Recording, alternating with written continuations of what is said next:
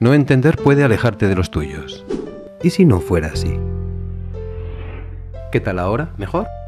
Ahí va. ¿Cómo mola? Aún podemos mejorar. Ah, bueno, es genial. ¿Y yo qué? Tú, Un payasete. Así, ¿eh? Chicos, chicos. mujer, son jóvenes. Hay que entenderles. Centro Navarro de la Audición. Si quieres, volverás a entender. Esta semana visitamos Estella Lizarra. Vamos a conocer a sus supervecinos y supervecinas. Así que comenzamos. Richard, que entre en la careta.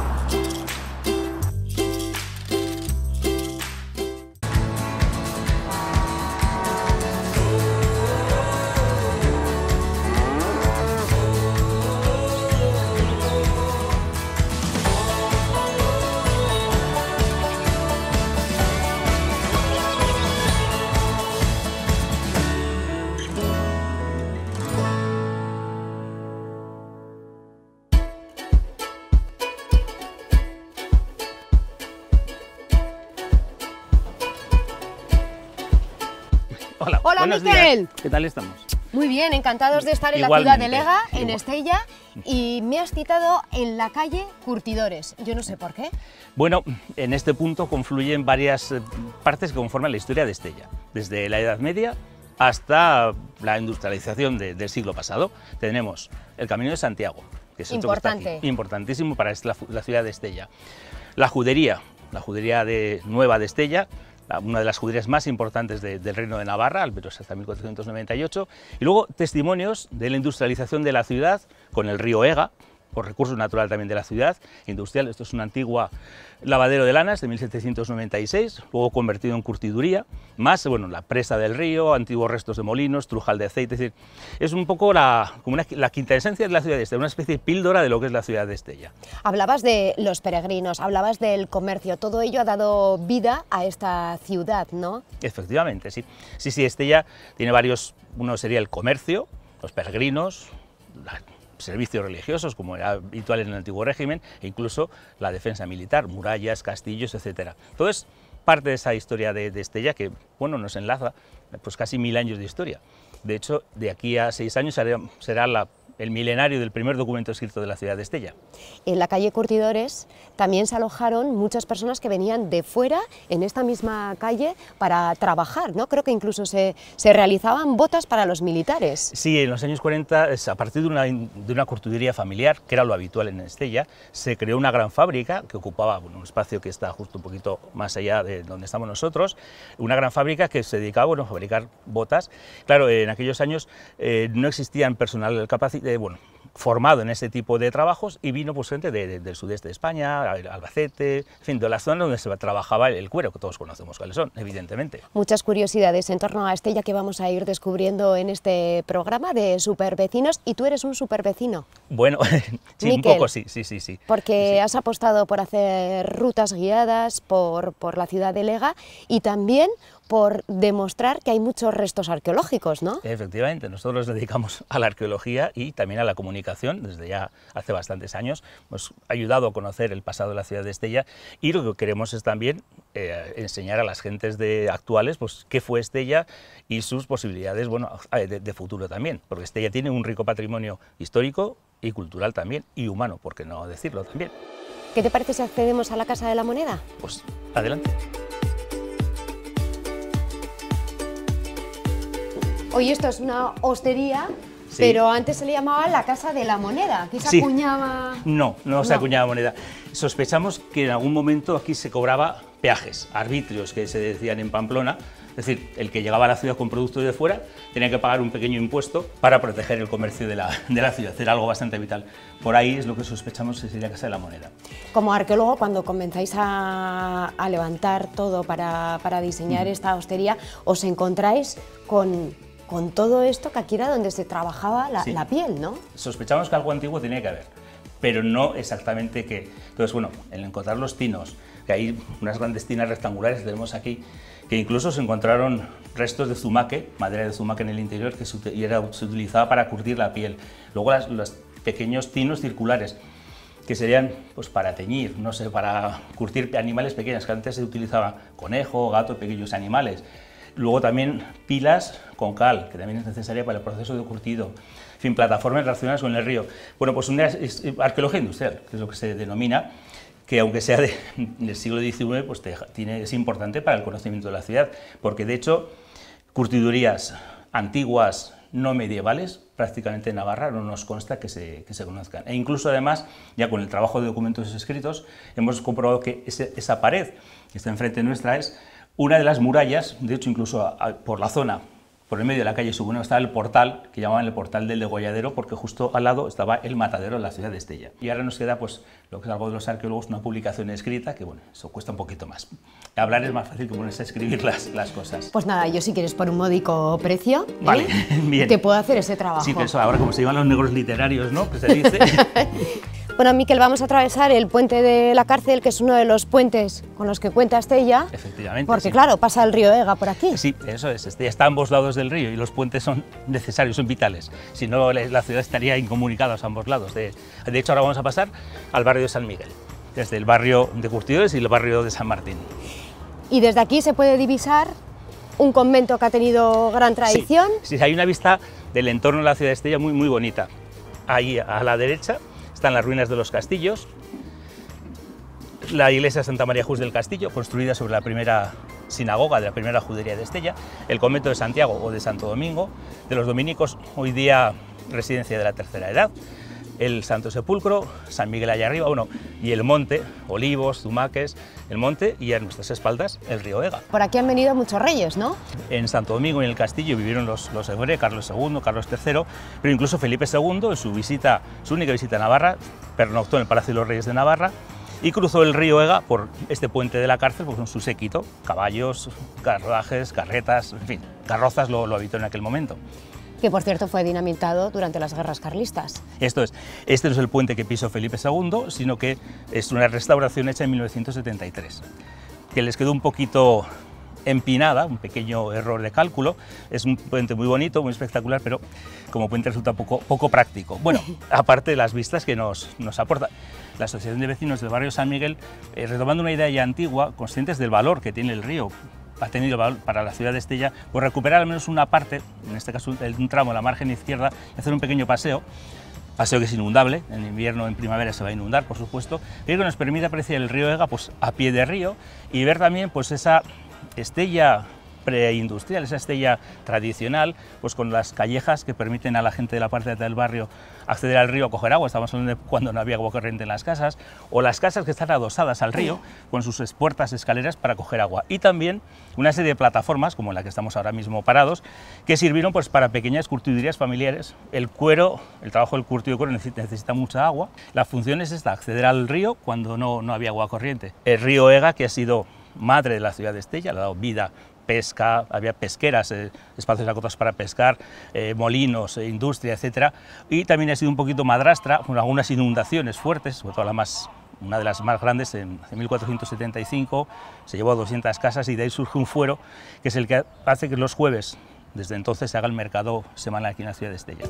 Se me estaba ocurriendo que además de escribirte el libro sobre arqueología, Sí. igual monto una empresa de visitas guiadas pero en barco. También se puede hacer, es una idea que habría que No, no, no, pensarla. la idea es La mía. idea es tuya. Bueno, No me la pues, quites. Es tuya. Esto Mira, las embarcaciones las deberíamos de dejar aquí para visitar este rincón. Perfecto. Y las atamos a los fresnos, ¿no? que es el, Eso el es. árbol que da nombre a la ciudad de Estella, Lizar, Lizarra. Bueno, estamos en tierra de nadie. Esta sería la muralla del barrio de San Miguel y este es el espacio entre ambos barrios, San Miguel y San Juan, dos de los cinco que tuvo la ciudad.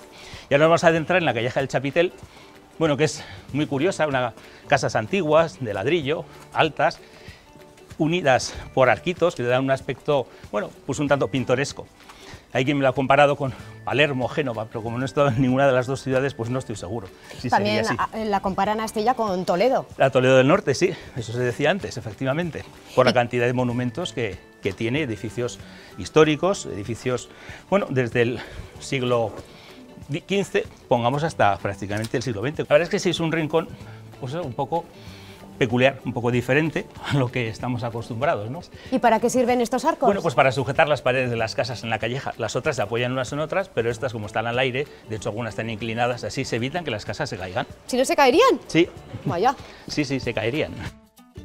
Nos hemos acercado hasta la plaza de San Martín porque aquí se puede divisar parte de la riqueza arquitectónica que hay en, en Estella, ¿no? Clásico y también huella del- de la estella medieval, cuando aquí tenemos el centro, por así decir, del poder de la ciudad. Tenemos a mis espaldas el ahora actual oficina de turismo, antiguo ayuntamiento de la ciudad de Estella, a nuestra izquierda la fachada lateral del Palacio de los Reyes de Navarra y luego en lo alto de estas escaleras San Pedro de la Rúa y el día de la procesión de fiestas de Estella es precioso venir aquí porque baja la corporación con la reliquia de San Andrés, los danzarís bailando en los rellanos y eso, esto es el origen de la ciudad de Estella. A la sombra del castillo de Lizarrara surge una comunidad de franceses francos, el barrio de San Martín, que bueno, pues va, va a dar lugar a lo que tenemos actualmente en la ciudad de Estella, en cuestión de 200 años, de esa pequeña comunidad, a la sombra del castillo, junto con el Camino de Santiago, al que servían ellos, bueno, pues pasa a ser una ciudad comercial, con un amplio radio de comercio, Castilla, Aragón, etcétera, una ciudad eminentemente religiosa, como era en aquellos tiempos, Sí, porque ¿cuántas iglesias y conventos hay aquí? en el siglo XVI, cuando la población no llegaría a los 6.000 habitantes, aunque es difícil precisar,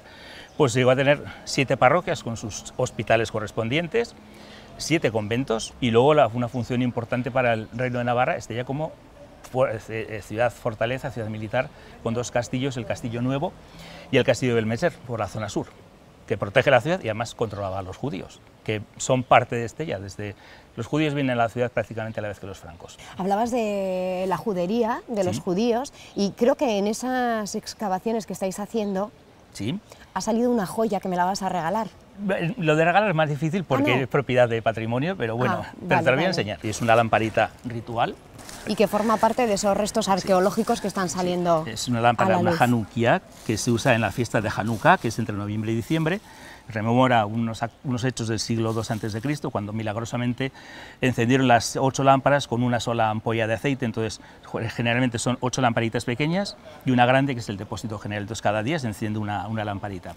Es algo que identifica y que singulariza a Estella frente a otras ciudades de- del norte de la península. Y déjame la bolsita, Ya que yo lo llevo a patrimonio. Vale, muy bien, lo llevas. Ya, ya les diré que vas. Gracias. A, a vosotros.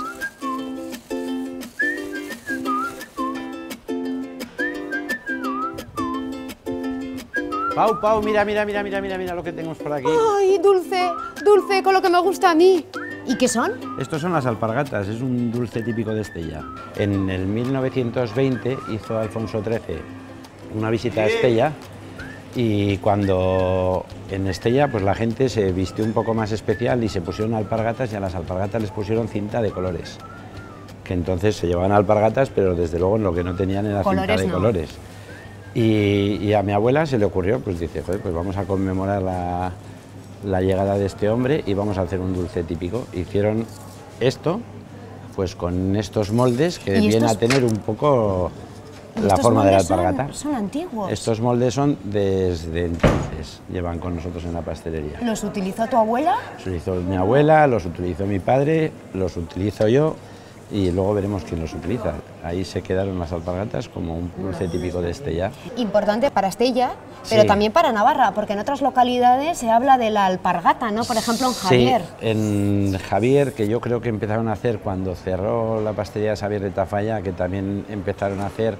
Lo que pasa que aquellos es un producto diferente, porque esta nuestra es el hojaldre y está relleno con una crema de almendra Mm. y me suena que por ahí la hacen con crema pastelera, pura y dura. Pastelería Ángela se ve que en el escaparate que aparece la fecha 1856. 1856. Esto es mi mujer empezó buscando papeles a ver hasta dónde iba llegando un poco lo anterior, lo anterior, lo anterior y llegó a 1856 que era de una de una familia y la última heredera, como no tenía herederos, mi abuela había venido de Ayo a servir, digamos, a su casa y la vio, fíjate tú, en aquellos años lo espabilada que la vio, que esto era un comercio de cere hacían, era una especie de fábrica de velas, confitería, ultramarinos, pastelería y aquí estaba trabajando entonces mucha gente. Y a mi abuela la vio capaz de, de dirigir este negocio y cuando se murió la dejó a mi abuela de heredera. En los diarios que mantenían eh, venía la compra de azúcar que parecía como que no sé si la importaban directamente de América. Tuvimos una vez en el escaparate un cuenco que un historiador cuando lo vio en el escaparate dijo en estos cuencos traían el azúcar de América. Vaya. Entonces, pues, y luego pues el tema del café, también se vendía aquí, el cacao para hacer chocolate, porque entonces no existía el chocolate como lo conocemos ahora.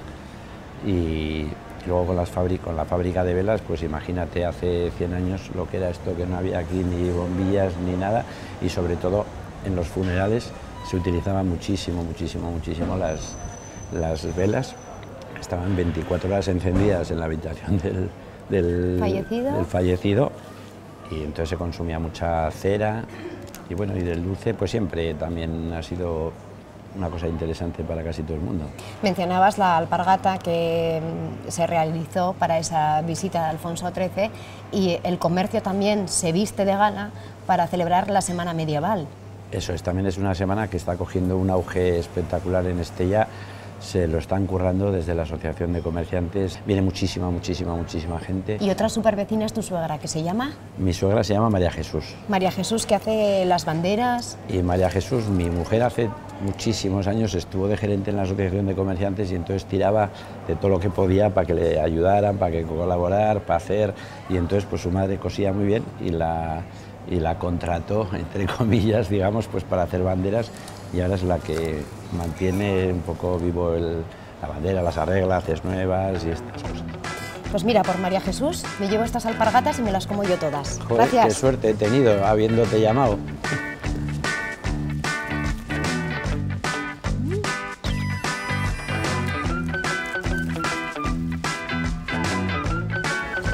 Mm, después de tanto caminar, Espera, espera, espera, espera. No tires la lata, ¿eh? ¿por qué no? Hay que tirarla a la papelera. No, hombre. Pero esta a mí me vale. ¿Cómo que te vale? Pues que hago colección de latas. ¿Y cuántas tienes? Pues más de 2.000. ¿Dónde vives? Aquí cerca. Te la quedas, ¿eh? Sí, sí, muchas gracias. Pero no la tires. No, no, no. A ver esa colección. Por aquí. ¿Dónde está? ¡Hala! Pero vaya habitación, Fernando. Mi pequeña habitación. Estamos viendo que las has colocado hasta en el... Hasta en el techo. No se ve, techo. no se ve de qué color es la habitación, ni el techo, ni nada. Esto es una obra de carpintería, de cristalero, de todo, ¿no? Y lo has hecho tú. Mm, sí, en varios años, poco a poco, reformando. Aquí está el resultado. ¿Y cómo empiezas? De repente un pues, día te pues, da con por... los amigos, sí, de pequeño, pues va a probar cerveza, a los amigos les gusta más, les gustan las tostadas, las negras, las- y a mí pues no me gusta mucho. Eh, empezas eh, con 20 latas, las pones en- encima de la cama, eh, luego ya quitas unos libros y pones 50, ya te haces una estantería a medida y poco a poco crece, crece y cada año un poco más. Y cuando ya tienes un poco más de sitio, pues, pues amplías. Y así durante 30 años. Vas viajando, te van trayendo los amigos, la familia, de, de viajes, ahora por intercambio de internet. Que bueno, si tendría tres habitaciones, las llenaría. Oye, ¿y qué tal la madre? La madre contenta, Sí, le gusta Sí. la habitación. le encanta. Bueno, Me encanta. ¿y ¿qué tipo de latas tienes? ¿Tienes algunas que sean muy curiosas, que han venido de otros países? Sí, de Japón, tengo un sobrino que está en Japón, me han traído de Egipto, de Tailandia, de, de Estados Unidos, de Brasil, muchas, de, de Venezuela. ¿Y hay alguna que para ti tenga un significado especial? No sé si te acuerdas de cuál fue la primera. Sí, pues O- mira estas. Esta, esta sobre todo. Estas, yo bebía muchas de estas. H-Baum. H-Baum. Por aquí está la de la de los Simpson. Y luego aquí están las joyas. Las joyas. Aquí están llenas, las demás están vacías, porque por el peso no, no podría suje- sujetar la- La- eh, el techo ni la estantería. ¿no? Yo aquí dormía antes. Y dormías bien. Dormía muy bien, dormía muy bien. Entonces por aquí, por aquí sí que hay alguna llena. Aquí hay antiguas del año 70, del año 45. A ver, ¿la podemos coger? Sí, Del año 45, así venían las latas de cerveza, ¿eh? esta está llena. Pues a partir de ahora te llamaré, Fernando, y te diré, mira, tengo unas cuantas latas de cerveza. Se traen, las intercambio con otro coleccionista de otro país que va a hacer lo mismo. Y ya tengo latas de otro país. Y hay muchas personas en el mundo que coleccionan latas de cerveza. Muchísimas, muchísimas. ¿Más de lo que nos pensamos? De refrescos y de latas, muchísimas por el mundo. ¿Y tiene en mente, Fernando, seguir ampliando esta colección de coches, de latas de cerveza? No, ya no tengo sitio. Hombre, yo creo que no habrá una habitación igual, ¿eh? No, no. Yo, creo, que, es no. única. ¿Qué te parece si me llevo esta lata? Que me gusta mucho y así comienzo esa, esa Bueno, muestra. yo había pensado por esta. No, si esa yo la iba a tirar, me gusta más esta. ¿Esa? Sí, y mira, para mi compañero Borja Lezaun, pues le voy a llevar un coche porque colecciona ¿También coches. coches? También, mira, este ¿Ese? me encanta. Uy, Borja, va por ti. Venga. Gracias, Fernando. Bueno, adiós.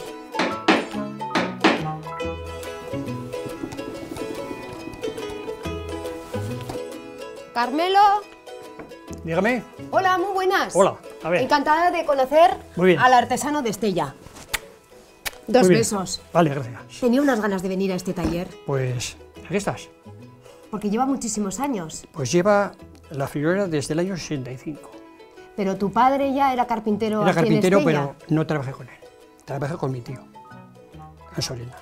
Luego, claro, luego, pues, las circunstancias de la vida, pues me tuve que ir a Madrid. Y cuando tuve ya 18, que era mayor de edad, pues dije, oye, que a mí no me gusta Madrid, Y desde el 65 estás en este taller. ¿Qué trabajos has realizado a lo largo de tu vida? Porque creo que recorrías diferentes localidades para arreglar retablos. Pues estábamos, hemos estado en Di Castillo, arreglamos la, la sacristía.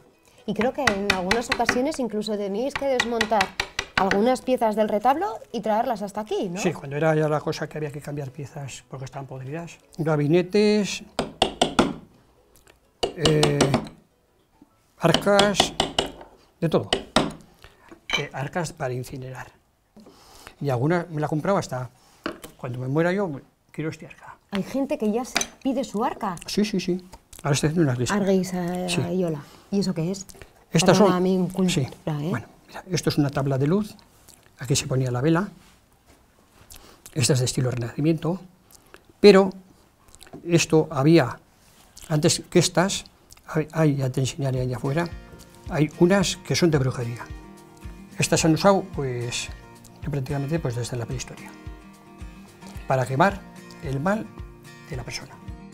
Pues mira, esto es el taller antiguo, aquí es donde empecé a trabajar.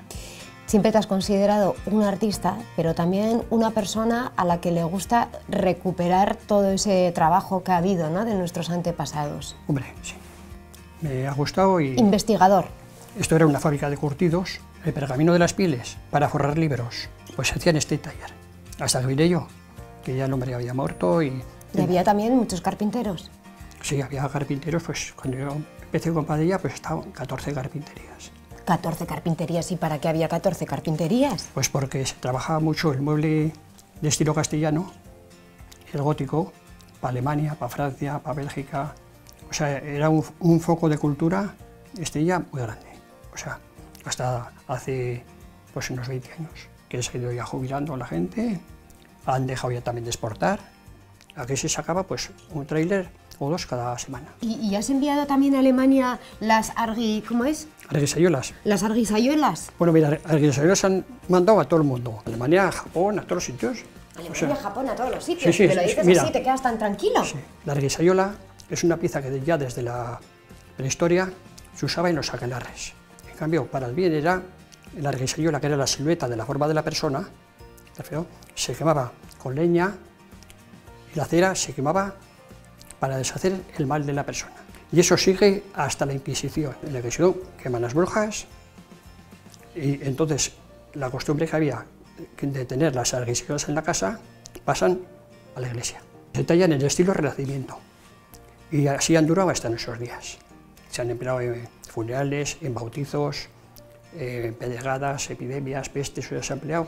Es un taller de artesanía donde pasa todo el mundo, al peregrino. Yo lo que he hecho aquí ha sido, en vez de vender souvenir, vender cultura de aquí, sacada de la etnografía popular. Era importante la alfarería aquí en Estella. A principios del siglo pasado, cinco alfareros había. El último, en 1950, desapareció, 58, que era Martín Quinta, Carmelo, imagino que estar todos los días aquí en este taller, en esta casa, con tanta historia, porque comentabas antes el tema de los pergaminos, que aquí se Sí. hacían los pergaminos, creo que además todos los libros de Aranzadi, Sí. de Derecho, se realizaban Sí, se hacen aquí. aquí. Sí, ¿no? sí. De aquí lo único que recogí fue la herramienta, que cuando se hizo en este ya un reportaje sobre el fumaque, que era una de las flores semillas. ¡Ahí va! Pero se había quedado con Usúa para hablar del zumaque. ¡Hasta luego, Carmelo! ¡Hasta luego!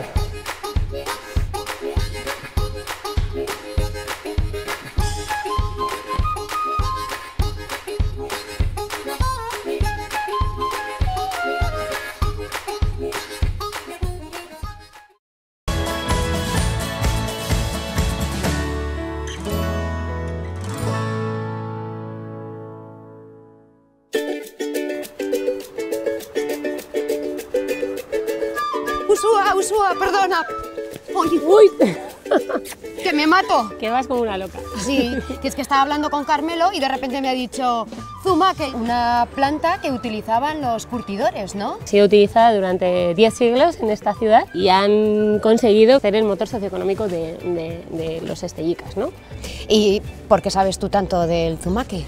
Ay, amiga, porque me metí en la piscina de la tesis doctoral hablando sobre el paisaje industrial curtidor. No me digas tú muy bien cómo llegué a aquello, pero bueno, algo tiene que, ver que a lo mejor en casa lo hayamos vivido. Mi padre y mi abuelo eran guarnicioneros, que es un gremio derivado de la industria curtidora, y pues no sé, los planetas se alinearon y quisieron que yo me dedicase a estudiar sobre la industria curtidora de, la ciudad. Actualmente existen dos industrias en la ciudad que, bueno, una de ellas es, eh, ya está en un polígono industrial, eh, que es Tenerías Omega, y de hecho hace pieles, bueno, hace productos muy curiosos porque trabaja para la aeronáutica e incluso, como nos diría Javier Casas, que es un escurtidor que ha participado en todo el proceso de socialización, las pieles de allí están en la nave internacional espacial. Y la otra que nos queda, que es eh, Curtidos Castejón, está cerquita del río, todavía se mantiene de manera más tradicional, pero tampoco utiliza azúcar. Desde aquí parte una ruta, la ruta del zumaque. La ruta del zumaque, sí. Una planta que viene de... Dicen que viene de Oriente, ¿no? que lo trajeron pues eso, en aquella época, en el siglo X, siglo XI, para, precisamente para esta industria. Sin embargo, hoy en día existen cartografías ¿no? que podemos ir buscando las especies. La encontramos en toda la zona del Mediterráneo, en Líbano, Turquía, Sicilia, toda esa zona un poquito más, más calentita ¿no? digamos, del Mediterráneo. Como decíamos, se inaugura una ruta de cuántos kilómetros? Son unos 13 kilómetros dividido entre la ruta oficial, la grande que es circular, que comunica en cuatro puntos con la ciudad, o sea que cada uno puede elegir digamos, las partes que recorre, y luego tiene una pequeña variante que es una joya porque pasa por verdaderas zumaqueras que en este momento ya se están tornando a, a colores rojizos y es, como dice una de las vecinas que también participó, Asun Ruiz, eh, es el Mar Rojo. Hola, muy buenas. Hola, buenas, ¿qué tal? Como te decía, en esta ruta eh, hay mucha gente que ha participado desarrollándola, ¿no? Y bueno, tenemos a uno de los técnicos aquí. Estaba aquí un poco viendo a ver si estaban bien mantenidas las, las marcas, ¿no? Entonces, a lo largo de todos estos kilómetros, pues eh, iréis encontrando estas marcas de color blanco y, y amarillo. Y bueno, vemos que tienen este fruto, que es como una vid antigua, donde estos frutos, mira, probar un poquito. Tiene un sabor muy característico. ¿Cómo ¿no? pica pica? Es como pica pica. Y ahora, Mm, ¡Qué bueno! y ahora te enseño que eso, sumac, es una especie que se utiliza muchísimo en la zona de Oriente, en Líbano, en Turquía, en toda la zona de la que hablábamos que el sumac es autóctona, ¿no? Dicen que los romanos lo utilizaban en vinagretas y bueno, y hoy en día pues se utiliza pues para ensaladas y para condimentar otras historias. Siempre que venimos de paseo y haciendo la ruta, nos imaginamos cómo serían estas laderas de cultivo entre olivares, entre zumaqueras, ¿no? Y que hoy en día pues ya la- solo las encontramos en, en límites, ¿no? De, de laderas y, y ribazos, ¿no? Y creo que la ruta también atraviesa por un punto muy llamativo, al que suelen venir muchas personas, ¿no? Sí, ahora un poquitín más adelante vamos a llegar a las calaveras. Hay que hablar bajito, ¿eh?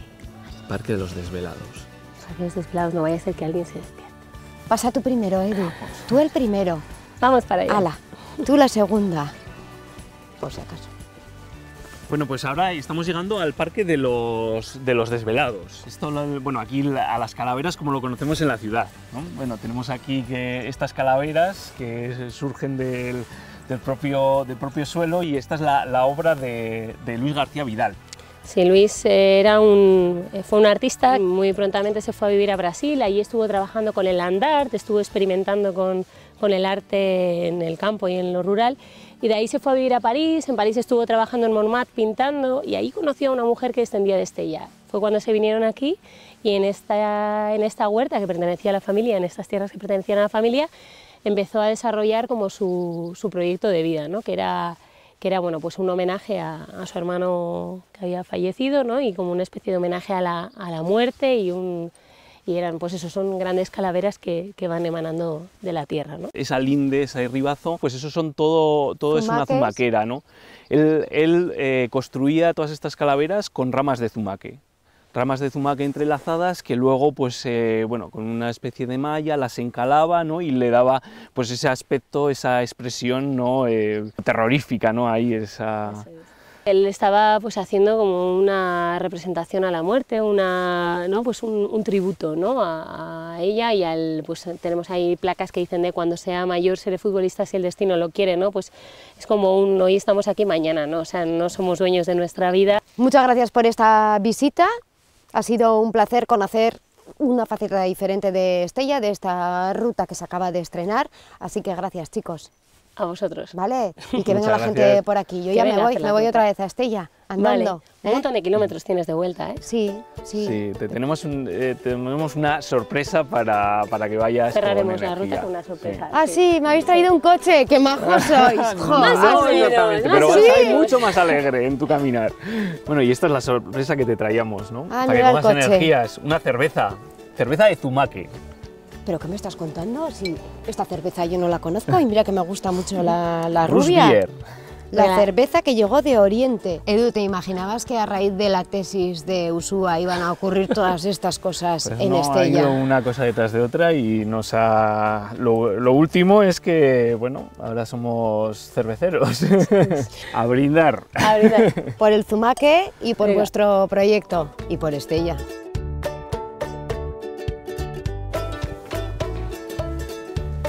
Hola. ¿Qué tal? Muy bien. Pues yo estoy encantada de estar en la ciudad de Lega, en Estella. No me como para, ¿no? Es que tenemos una ciudad muy bonita. Y el alcalde también estará orgulloso de sus supervecinos y supervecinas. La gente aquí está muy comprometida, pues bueno, con que tengamos una ciudad bonita, que la gente la disfrute cuando venga y que sea viva, ¿no? Por eso tenemos esa suerte en, en la ciudad, que supongo que en otros lados también lo habrá, pero aquí es, eh, yo creo que multiplicado por tres o cuatro, ¿no? Tenemos esa suerte, desde luego. Hay muchas historias relacionadas con, con el río, creo que cuando el caudal empieza a subir hay gente que se fija en una barandilla, ¿no? En la bola uh -huh. una barandilla para saber si va, tan, va a tener que salir corriendo tanta tecnología que, si los caudales, el caudalímetro y tal, nada. La bola de la barandilla está cubierta, peligro. Venga, a, a sacar las, las, bombas y a poner los, los, diques en las puertas para que no entre el agua. Sí, son cosas de, de, de los pueblos ¿no? y de las ciudades pequeñas que, que bueno, se van transmitiendo y son como, como, como, el santo grial, ¿no? Esto es así y punto, déjate de caudalímetros, a mí la bola. Precisamente bajaba de arriba porque estamos eh, con una empresa viendo cómo hacer un pequeño museo histórico de, de la ciudad en la ah. parte de arriba para acabar de darle ya el contenido a todo el edificio y que sea, como te digo, pues el punto clave de Estella Lizarra en cuanto a turismo y, y, a patrimonio.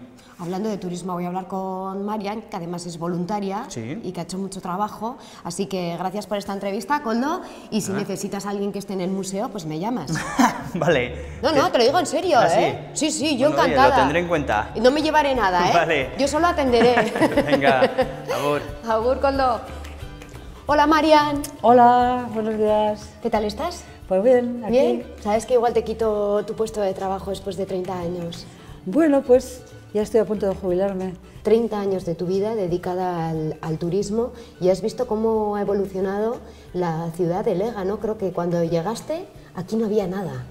Vine a abrir por primera vez la oficina de turismo de Estella. Tampoco existía local para la oficina de turismo.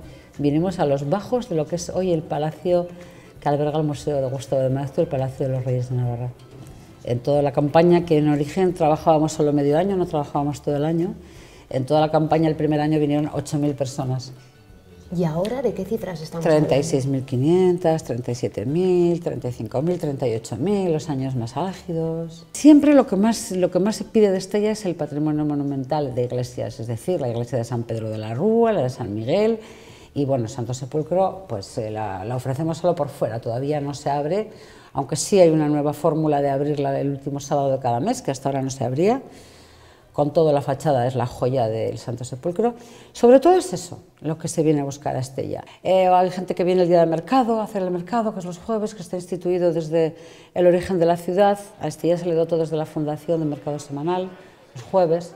No tiene plaza de mercado municipal como tiene Tudela, por ejemplo, pero tiene mercado semanal los jueves. Entonces, el jueves es una tradición de los pueblos que vienen a pasar el día, que hoy es jueves precisamente, los pueblos vienen a pasar el día, compran ya las cosas en la ciudad, de paso se reúnen la gente de los valles, se van a comer juntos y hay gente de las provincias limítrofes, sobre todo de Guipúzcoa, que organizan excursiones para venir el jueves a Estella. En todos los sentidos hay que ser, eh, dar una buena información, pero nunca decantarte en lo personal por nada, porque eso no se puede hacer. Tienes que mirar todo desde la globalidad. ¿Te gusta el programa Supervecinos? ¿De la televisión? Sí. No veo la televisión. Qué fuerte. Lo siento. Bueno, eso lo dices para no tener que implicarte, ya lo sé.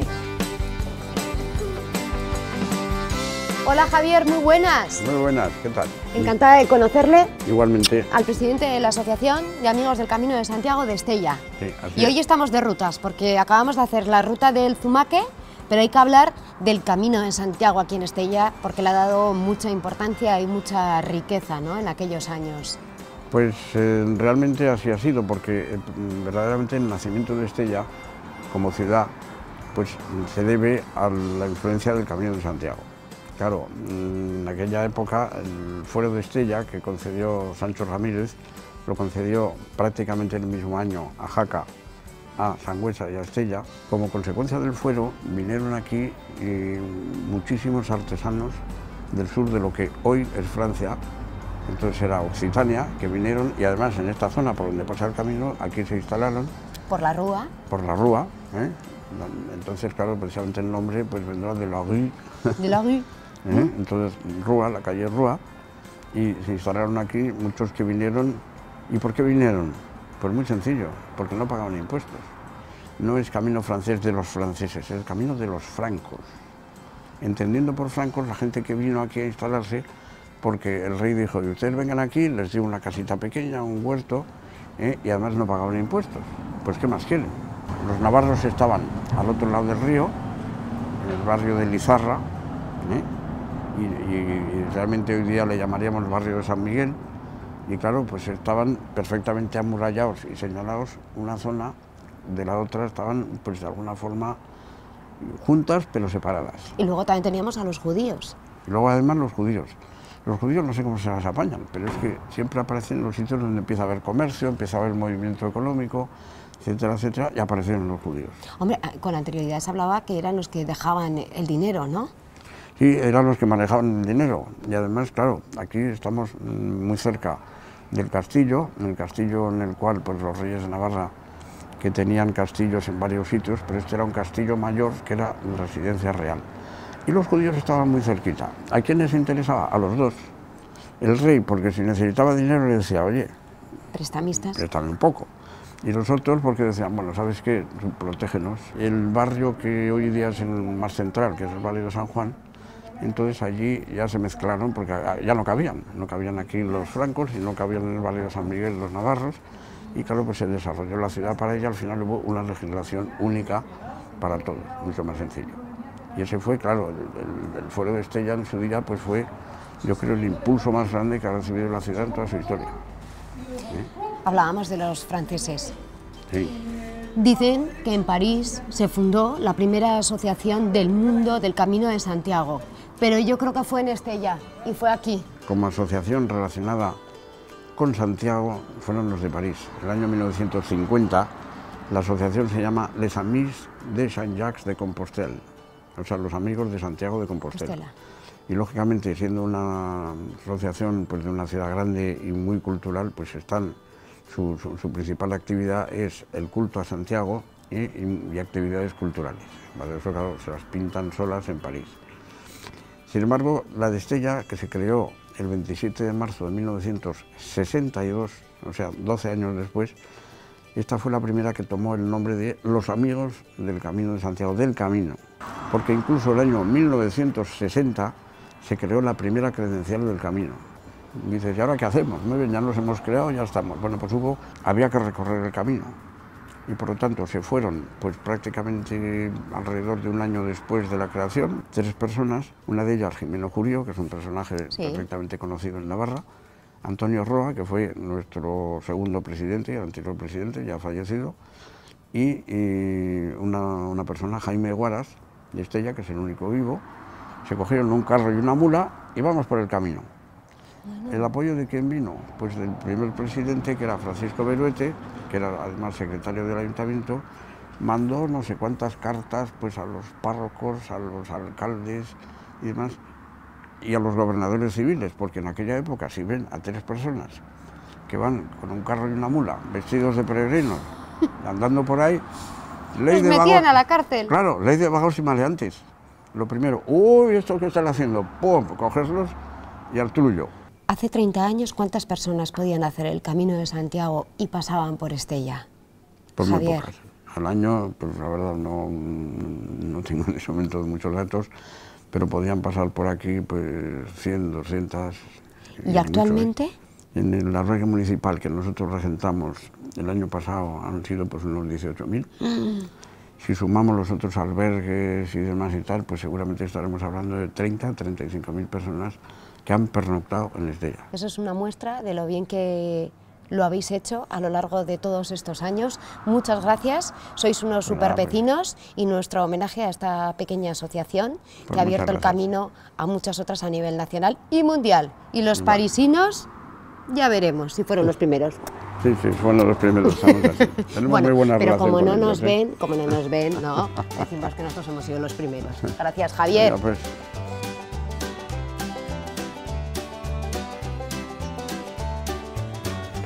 Muy buenas, Francisco. Muy buenas. Encantada de Paula, conocerte. igualmente. Bueno, estamos en esta tienda que tiene más de 100 años de historia, ¿no? Esto lo fundaron mi- mis abuelos, Nicanor, que se llamaba, y ella Juana. ¿Qué, qué nombres, verdad? Sí, bonitos. Ahora Sí, se están sí. recuperando muchos Sí, de sí, sí. aquellos nombres. Y nosotros pues descendemos de Arroniz. ¿Y cómo se instalan tus abuelos aquí? Pues, pues mi abuelo vino a Estella, realmente pues no le gustaba el pueblo y, y económicamente estaban bien.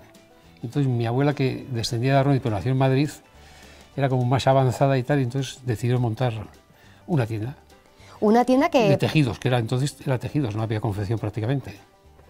aquí las mujeres venían a comprar esas telas con las que se Sí. confeccionaban todos los trajes. sí, y, ¿no? y luego pues teníamos, lo que sí vendíamos era mucho traje de caballero. Tenemos marcas inglesas, marcas Tamburini, que era muy famosa en Cataluña, Colomer, y esas marcas sí, pero eso desapareció porque los tiempos han cambiado, entonces no hay sastres. Nosotros en tiempos tuvimos cuatro sastres trabajando, nosotros. Para el Corpus quería estrenar un traje, y eran así, este, a ver quién lleva el traje mejor en el pueblo, ¿no?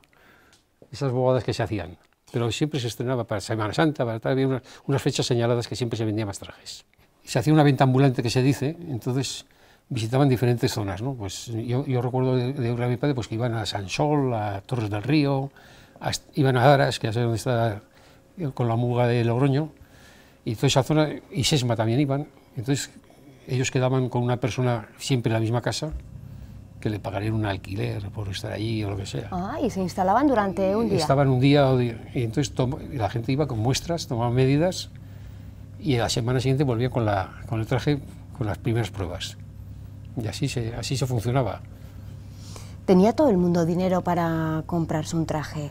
Pues mira, yo le he oído a mi padre contar que a veces tenían un trueque que cambiaban por ciertas, pues por un saco de alubias, se compraban por no sé qué. Fíjate lo, lo poco que ganaba un dependiente, que le iba a contar a mi padre, entonces estarían enfrente, que se, se, se quedaban a dormir debajo del mostrador.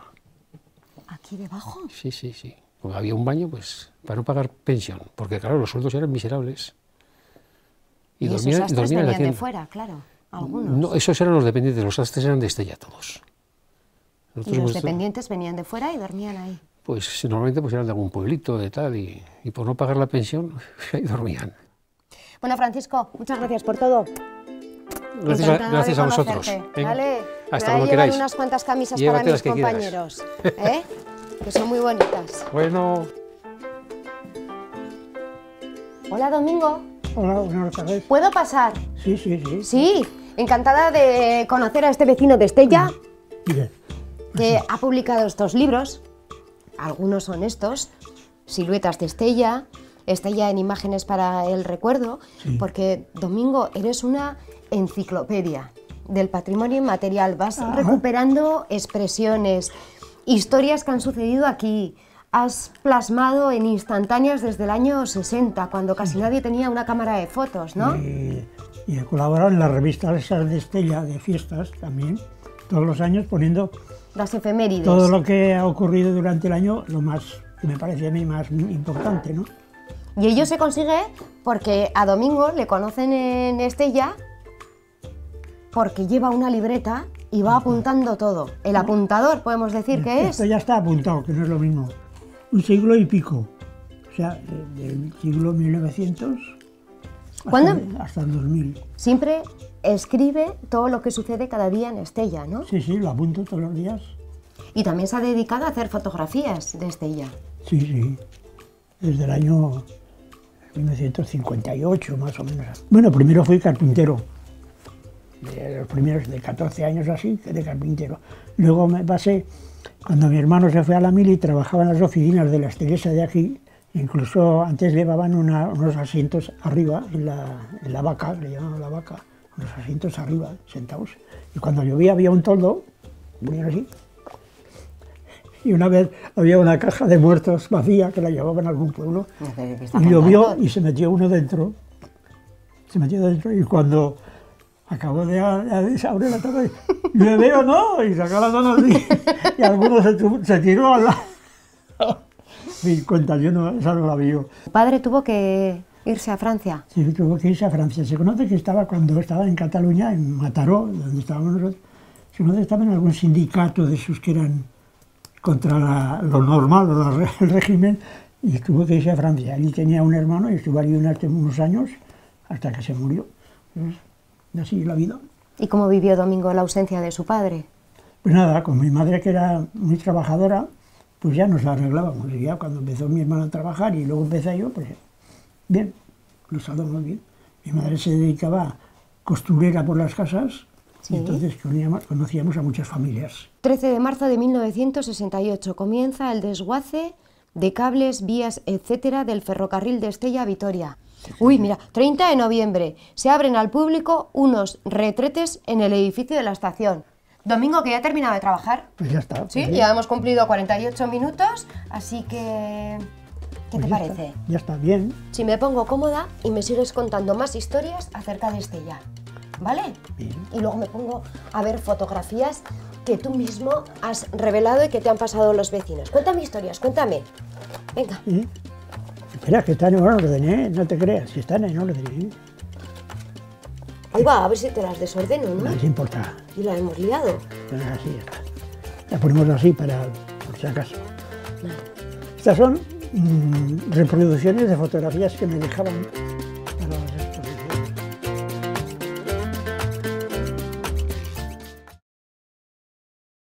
No entender puede ensombrecer tu expresión. ¿Y si no fuera así? ¿Qué tal ahora? ¿Mejor? Ahí va. Centro Navarro de la Audición. Si quieres, volverás a entender.